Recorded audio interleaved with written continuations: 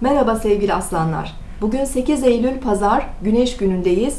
Bugün yakınlarınızdan birini ziyarete gitmek için kısa bir seyahat yapabilirsiniz.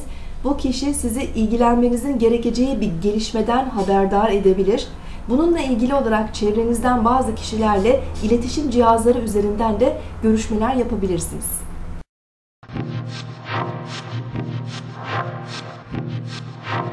Burcunuzu dinlediniz. Bugün 8 Eylül Pazar, Güneş günündeyiz. Ay gün boyu terazi burcunda ilerleyecek.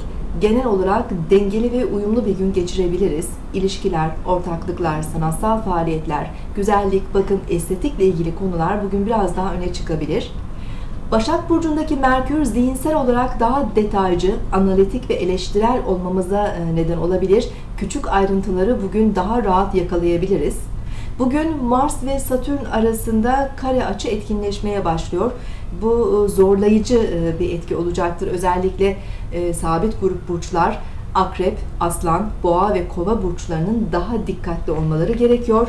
Riskli eylemlerden ve düşünmeden yapılan davranışlardan uzak durmamız gerekiyor.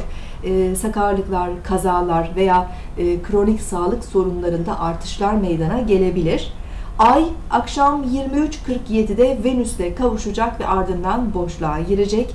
Gece saatlerinde Ay-Venüs kavuşumunun yumuşak romantik etkilerini özel ilişkilerimizde ve aile ilişkilerimizde hissedebiliriz.